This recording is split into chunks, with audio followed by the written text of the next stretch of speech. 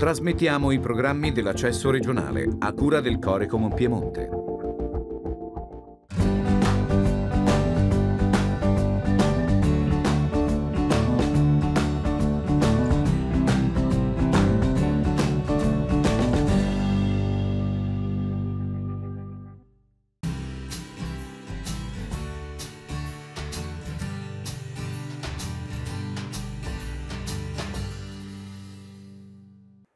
Buongiorno a tutti, mi chiamo Giancarlo Somà e sono il governatore del distretto Lions 108 IA1, un territorio che comprende la città di Torino, il Piemonte orientale Biella, Novara, Vercelli e Vicio e la Valle d'Aosta. È una importante occasione per me e per tutti noi di portare a vostra conoscenza quanto la nostra organizzazione internazionale attiva e fa all'interno delle comunità in cui opera. Un'organizzazione internazionale presente in oltre 200 paesi in tutto il mondo con oltre 1.400.000 soci. Donne e uomini che hanno deciso nello spirito del nostro motto We Serve, noi serviamo, di dedicare il loro tempo a alle persone che hanno maggiormente bisogno. È un modo di operare condiviso, un modo di operare vicino alle persone, alle comunità, insieme alle altre associazioni di servizio. E una nostra organizzazione, il nostro distretto, invece è come dire, eh, di, distribuito eh, sul nostro territorio, è eh, diviso tra 72 club e 2100 soci, che operano in tantissime attività. Noi abbiamo attività verso il sistema medico-sanitario, verso il mondo della scuola, verso i giovani, verso l'ambiente. Come dire, ho piacere di ricordare alcuni degli, degli eventi, delle attività più caratterizzanti della nostra associazione nel nostro territorio. Centro occhiali usati. Abbiamo recuperato 300.000 paia di occhiali e distribuiti in tutto il mondo a coloro che non potevano permettersi un paio di occhiali. Abbiamo delle attività verso i cosiddetti bambini nuovi poveri, famiglie di cui eh, con forti bisogni economici hanno necessità per poter far crescere i loro piccoli in maniera più agiata. Abbiamo il libro parlato, un'iniziativa storica di diversi decenni che ha in, come dire, in carnet eh, oltre 10.000 titoli che possono essere sentiti dalle persone non vedenti. A questo mi aggancio, perché noi siamo conosciuti come Cavalieri della Vista, mi aggancio a un altro kick del nostro distretto Italy.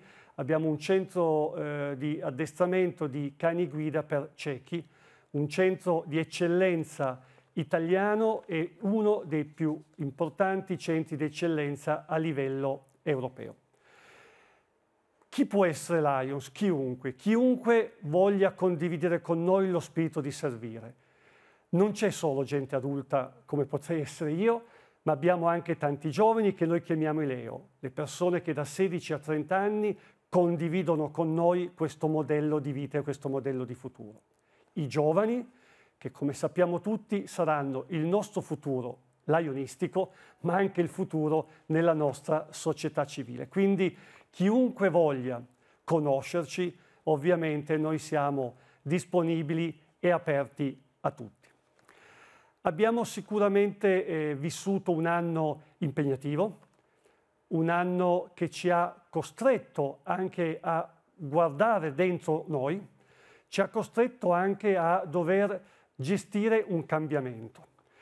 Però anche questi casi devono essere visti come un fattore eh, diciamo di crescita e noi Lions siamo convinti che dobbiamo, abbiamo un compito importante, che non dobbiamo subire questo cambiamento, ma dobbiamo essere artefici, promotori di un cambiamento per far sì, come dice il mio motto in questo mio eh, guidoncino rappresentato dal disco di Newton e sotto tre parole assolutamente semplici, uniti, forti e credibili, dicevo per l'appunto ehm, dobbiamo far sì che nostro, la nostra associazione, ma tutti noi, possiamo essere partecipi e protagonisti in un mondo che cambierà e che sarà sicuramente migliore grazie a tutti noi Lions, ma soprattutto anche grazie a tutti voi.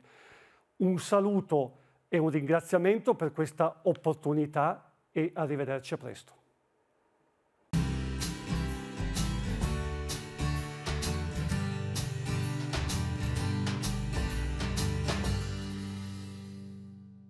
Buongiorno, sono Pinuccia Sgambellone, presidente dell'associazione Giglio Onlus. Questa associazione è nata 19 anni fa con l'intento di ospitare gratuitamente i genitori dei bambini ricoverati in qualunque reparto dell'ospedale Regina Margherita. In effetti abbiamo iniziato la nostra attività mettendo, allestendo un, uno spettacolo teatrale chiamato La famiglia von Trapp da allora abbiamo messo in piedi nove eh, spettacoli per un totale di 110 repliche. In questo modo siamo riusciti in 18, eh, 19 anni a um, affittare sei appartamenti e a darli per questo servizio. Nel 2016 però accorgendoci che le famiglie rimanevano molto sole nel, negli appartamenti che avevamo messo a disposizione per loro, abbiamo deciso di riunirle tutte sotto un, uno stesso tetto. Ecco che abbiamo scelto allora in centro, in via Capelverde 2, uno spazio di 800 metri quadri che ci è stato dato in comodato d'uso gratuito e lo abbiamo ristrutturando ricavandone 12 piccole camere eh, con un bagno privato. Tutta la parte diurna invece è condivisa ed è formata dalla cucina, dalla sala polivalente e da una lavanderia. Ecco che allora le nostre famiglie possono sicuramente vivere il loro periodo in un'atmosfera leggermente più eh, amicale e leggera e questo è il nostro intento. Per fare questo ovviamente organizziamo moltissimi eventi, il Covid ci ha un po' gelato, però eh, stiamo ricominciando a organizzare appuntamenti conviviali dedicati a chi, tutti eh, coloro che vogliono partecipare. Il nostro sito è www.casagiglio.org. In questo momento stiamo ricercando volontari e associazioni di malati in qualunque regione d'Italia che vogliano comunque utilizzare i nostri servizi. Grazie, arrivederci.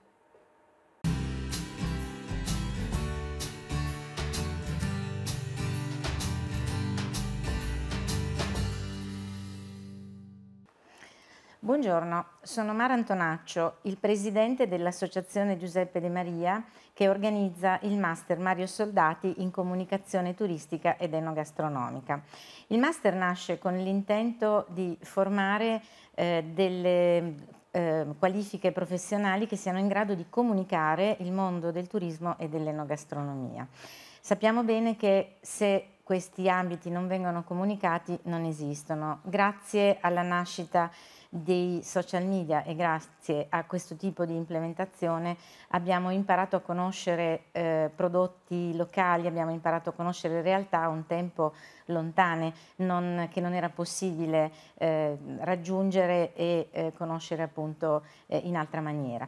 Il master ha una caratteristica particolare, è altamente professionalizzante, è rivolto ai diplomati, ai laureati, a tutti coloro che hanno la passione di comunicare il l'enogastronomia e che vogliono formarsi in questo settore.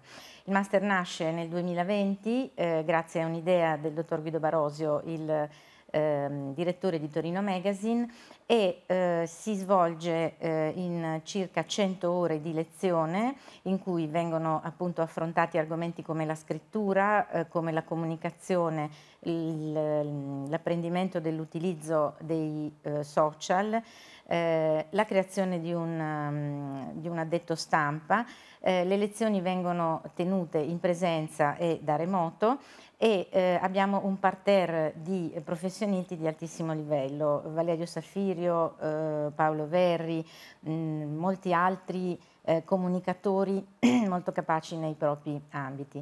Eh, la prossima edizione del Master partirà a settembre eh, e eh, gli allievi, esattamente come la ehm, edizione appena terminata verranno strutturati eh, per la preparazione dell'elaborato finale eh, in una sorta di redazione ideale, quindi impareranno sul campo a produrre un progetto editoriale un progetto comunicativo eh, con il business plan, con lo studio di fattibilità, quindi in maniera assolutamente pratica. Eh, nella, nelle ore di lezione eh, sono previste anche delle uscite sul territorio per visitare aziende, eh, per visitare le cucine dei ristoranti stellati, per far toccare con mano agli studenti la realtà di questo eh, settore. Eh, ci siamo ispirati alla figura di Mario Soldati perché è stato l'antesignano eh, dei comunicatori del, del turismo dell'enogastronomia. Ricordiamo tutti le bellissime trasmissioni che fece alla fine degli anni 50 in cui svelò il territorio eh, italiano al, al pubblico eh, e fece conoscere zone eh, sino ad allora assolutamente sconosciute. Eh, il master prevede una, un colloquio di eh, selezione al quale vengono sottoposti eh, i candidati che porta poi all'iscrizione. Eh, contiamo molto sul periodo di grande ripresa che ci sarà nei prossimi anni perché comunque questi due settori sono settori trainanti per l'economia italiana e quindi offrono tantissime possibilità di lavoro a chi vuole eh, approcciarsi a questo tipo di attività. Eh, il master accoglie qualunque tipo eh, di tendenza che riguardi l'ambiente e il turismo e l'enogastronomia e quindi vi aspettiamo. Eh, grazie, arrivederci.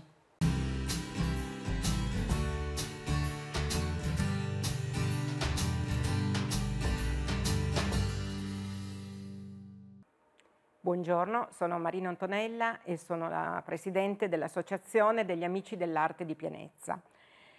Sono qui per presentare eh, una delle ultime esposizioni che sono state eh, fatte nel territorio relativo a un pittore pianezzese, Mario Lisa, che ha vissuto negli ultimi anni della sua carriera nel, nel paese eh, e ha lasciato eh, una serie di quadri, di esposizioni, di pitture eh, soprattutto relativo alle nature morte e alcuni mh, quadri che sono poi stati recuperati durante suo, i suoi viaggi, eh, relativi anche a, a, paesaggi del suo percorso eh, come pittore anche eh, internazionale perché ha viaggiato in parecchi posti dell'Europa. E mm, questa mostra eh, è un ringraziamento proprio per questo pittore Mario Lisa che eh, ci ha lasciato eh, diciamo, una serie di piccoli quadri che però rappresentano delle, dei piccoli gioielli legati a, que a questa sua evoluzione artistica. E il bello eh, di questo è stato proprio quello di recuperare eh, tutto il patrimonio che in, nel nostro paese è stato eh, fatto, non solo grazie a lui come pittore, ma ci sono anche, abbiamo riscoperto anche le attività di altri eh, personaggi importanti, eh, come eh, il pittore, lo scultore Calvetti, che ha eh, iniziato una sua carriera artistica prima come eh, fotografo, poi è passato al, all'opera scultorea eh, e quindi abbiamo trovato nelle ville del nostro territorio eh, tutta una uh, serie di busti eh, o sculture legate proprio a questa, al territorio, a personaggi importanti, mh, come adesso stiamo recuperando la statua di Alessandro Magno e altre eh, persone, altri busti di persone importanti che eh, questi autori pianezzesi hanno cercato di eh, lasciare nel territorio. Abbiamo eh, infatti fatto già diverse mostre su questi nostri mh, pittori e scultori e abbiamo eh, cercato anche di recuperare e valorizzare eh, le ville del territorio che una volta venivano utilizzate anche per, come luoghi di villeggiatura, infatti Pianezza è molto ricca di eh, ville antiche con relativi giardini eh, che mh, sono stati anche questi recuperati e vengono eh, anche svolte eh, le ehm, mostre all'aperto e eh, ultimamente stiamo anche eh, facendo dei concerti di musica classica nei giardini proprio perché vogliamo invitare il pubblico pianezzese a conoscere mh, quello che è stato il passato storico del territorio. Eh, un passato che ha lasciato veramente qualcosa di bello, di importante, che va eh, curato e la nostra associazione cerca proprio di eh, raccogliere tutti questi eh, reperti tutte queste opere e eh, esporle al pubblico attraverso queste mostre che facciamo tutti gli anni. La mostra di Vario Lisa ha avuto un successo di pubblico anche se eh, è, stat- è, durata poco, ma eh, la raccolta dei suoi quadri sono durate anni perché eh, non erano, erano, disperse un pochettino, in, addirittura di quasi dimenticate. E noi quello che come associazione stiamo cercando proprio di fare è raccogliere tutti quei piccoli gioielli che eh, ci sono nel nostro territorio che hanno bisogno di essere rispolverati e presentati al pubblico. Ecco perché eh, noi siamo veramente diciamo, orgogliosi eh, di, queste, di, questi nostri piccoli artisti, piccoli che hanno fatto grande pianezza, che sono eh, veramente mh, notevoli come, come, opere e mh, infatti aspettiamo, ci, ci, attendiamo che il pubblico ci accolga numerose le nostre inviti quando insomma svolgiamo la nostra attività che pubblichiamo, che cerchiamo insomma di pubblicare attraverso i nostri inviti alle mostre. E vi ringrazio a tutti per, eh, e vi auguro buona giornata.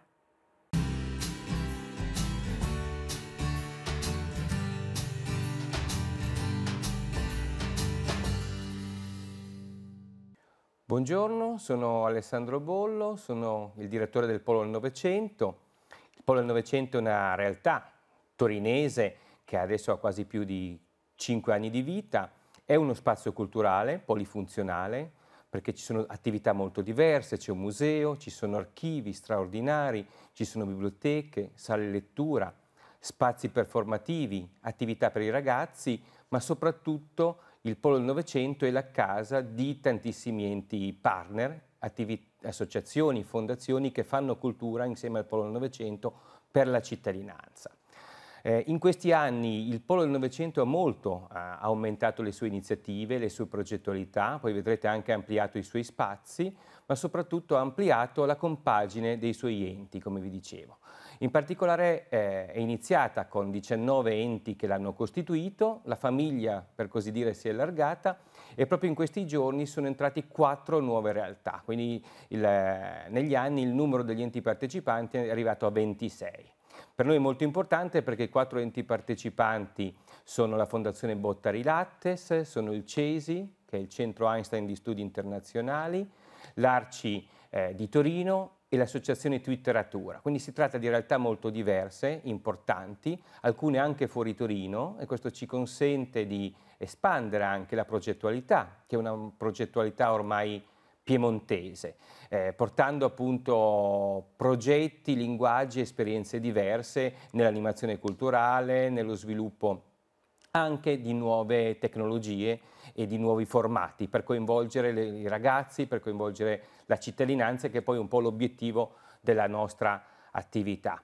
Eh, l'altro grande aspetto, se vogliamo, di novità per noi è la possibilità di ritornare di nuovo in presenza, dopo un anno e mezzo ovviamente di, di sospensione per il Covid eh, e il ritornare in presenza vuol dire per noi anche poter beneficiare di uno spazio nuovo. La pedonalizzazione, infatti, di Piazzetta Antonicelli, di Via del Carmine, consente al Polo, ai suoi enti, ma anche ad altre realtà del territorio, di eh, poter valorizzare e sfruttare appunto uno spazio all'aperto. Ed è quello che succede eh, praticamente tutti i giorni attraverso una modalità di sperimentazione eh, della pedonalizzazione che durerà tutta l'estate e arriverà avanti fino a ottobre. Questo consente ad esempio di fare attività per i ragazzi, eh, di poter ospitare delle postazioni studio. Nello specifico c'è un bellissimo progetto che abbiamo realizzato con le biblioteche civiche di Torino, che si chiama La Poloteca, che è la possibilità proprio di organizzare dal lunedì al venerdì, la mattina e il pomeriggio, delle attività di lettura, delle attività aiuto compiti, delle iniziative di, di, appunto, di gruppi che riflettono, che approfondiscono, che giocano per i bambini, ma non solo.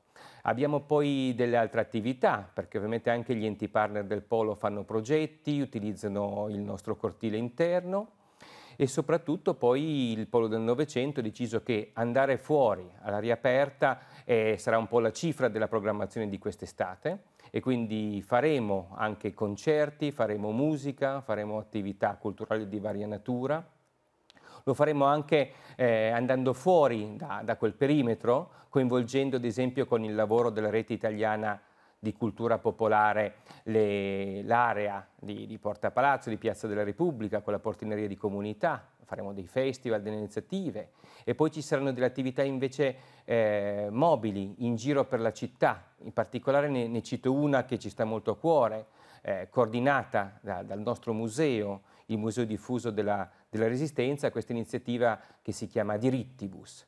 Ed è un'iniziativa proprio volta a portare in giro per la, per la città eh, le nostre iniziative, allestiremo proprio una, un autobus, eh, l'ex bibliobus delle biblioteche civiche con dei libri legati ai diritti, andremo nelle diverse circoscrizioni e coinvolgeremo anche qui la cittadinanza, le persone, eh, i ragazzi sulle grandi sfide della contemporaneità, sui diritti, parleremo di ambiente, parleremo di migrazione, parleremo di giovani, eh, parleremo di genere, che sono poi i grandi temi che affrontiamo nella quotidianità, le attività appunto che faremo nella piazza, ma le attività che svolgeremo nella programmazione. Quindi il consiglio di seguire anche le attività online, eh, quelle che continuiamo a fare, andando sul sito del Polo del Novecento e seguendo i nostri canali social.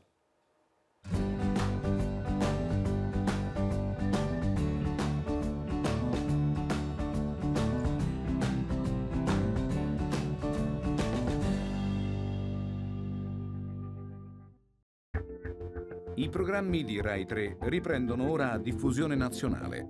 Buona visione.